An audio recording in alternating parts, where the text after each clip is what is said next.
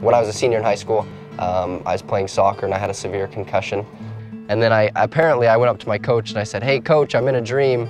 And my coach was kind of like, "What? What are you talking about?" And another player who played football recognized what was going on, and so he he said, "Hey, he he got hit. He's, he has a concussion." So then I just sat down on the field. Um, I couldn't I couldn't I didn't know what anything was. I didn't know what the scoreboard was. I kept trying to figure out what is that thing? What's the scoreboard? I didn't know. I didn't know who who I was. I, they asked me who the president was. I didn't know any of that.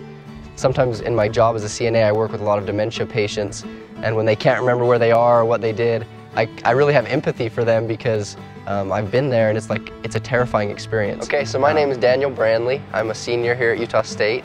Um, I'm a nutrition science major. I'm uh, planning on graduating here in, a, in, about a year and a half and applying to medical school.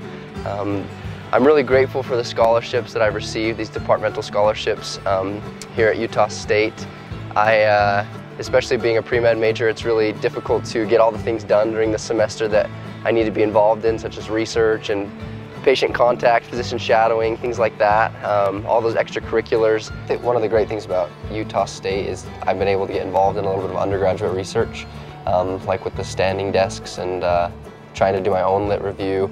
Also taking general chemistry and organic chemistry for um, medical school, I've been able to get involved in the really the minute things of the lab, learning re small reactions. We made aspirin last semester. Um, and it's been amazing to get to know people.